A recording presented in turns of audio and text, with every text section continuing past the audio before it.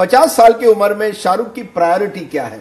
Film production, sports, innovation या family के साथ ज़्यादा वक्त?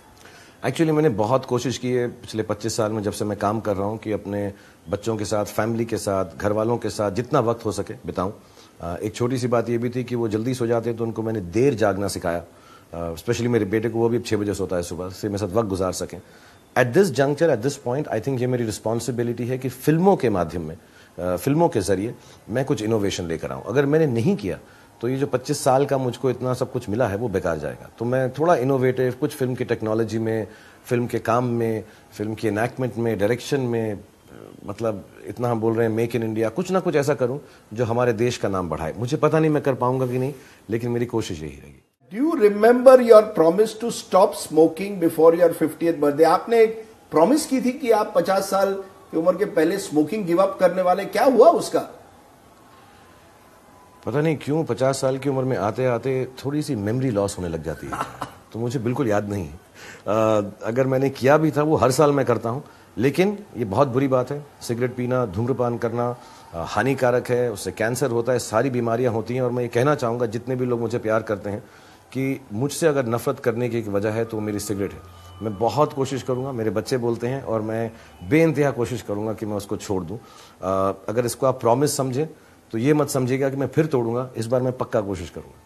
कोशिश करोगे? हाँ लेकिन इस बार अभी अभी चल रहा है अभी अभी, अभी नहीं चल रहा है बहुत सालों से चल रहा है। मेहनत मेहनत जारी है। मेहनत जारी है। अमन छाबरा सवाल पूछते हैं क्या क्या वजह है कि आजकल आप एक ही फ़िल्म कर रहे हैं? Happy birthday have a fantastic day उनका कहना है एक ही फ़िल्म क्यों कर रहे हैं? साल में 2015 में एक ही फ़िल्म आपकी निकल रही है दिलवाले दिसंबर के महीने में? हाँ मैंने इस, इस साल नहीं पिछले तीन चार साल एक ही फ़िल्म की थी मुझे बहुत चोटें लग गई थी। मेरा नी की सर्जरी हो गई दोनों शोल्डर की हो गई स्पाइन की हो गई तो सात आठ महीने उसको ठीक करने में लग गए। और फिर हमारी कंपनी थी रेड चिलीज उसको मैं जब शुरुआत की थी तो मुझे लगा कि मैं अवेलेबल रहूँ। बहुत हमने मल्टी स्टारस बनाई हैप्पी न्यू ईयर चेन्नई चलते चलते ओम शांति ओम। तो मुझे लगा मैं जो है हमेशा मुहैया रहूँ अपनी कंपनी के लिए। लेकिन पिछले चार महीने पहले मैंने ये डिसाइड कर लिया कि अब जो है मैं साल में तीन फ़िल्में ज़रूर करूँगा जो मेरे मन की हों। क्योंकि मुझे देवेंद्र वर्मा साहब ने कहा था कि फ़िल्म क्या करो एक तन के लिए एक धन के लिए और एक मन के लिए। तो अब वक्त आ गया है कि मैं मन के लिए फ़िल्में करूँ और तीन करूँगा। पंद्रह फ़िल्में मैं कोशिश करूँगा जो मेरे दिल को भाती हैं खूबसूरत सी बनाऊँ। अगले पाँच साल में शाहरुख खान पंद्रह फ़िल्म करेंगे। पंद्रह फ़िल्म भी करता हूँ और सिगरेट छोड़ने की कोशिश भी करता हूँ। आजकल बहुत वादे कर रहे हो। ये होता है जब आप पचास साल के बन जाते हो।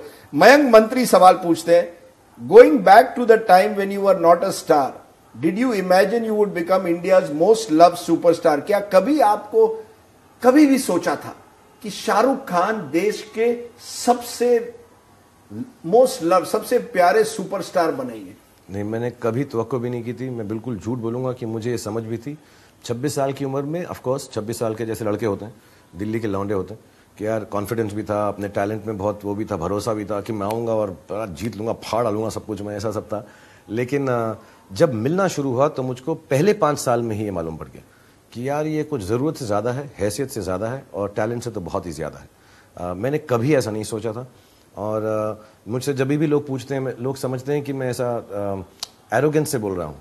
लेकिन मुझसे जब पूछा जाता है कि किसकी ज़िंदगी मिलनी चाहिए मैं चाहूँगा हर लड़के हर लड़की हर नौजवान को मेरी ज़िंदगी मिले क्योंकि मुझको वो ज़िंदगी मिली है जो ख्वाबों में भी नहीं मिलती।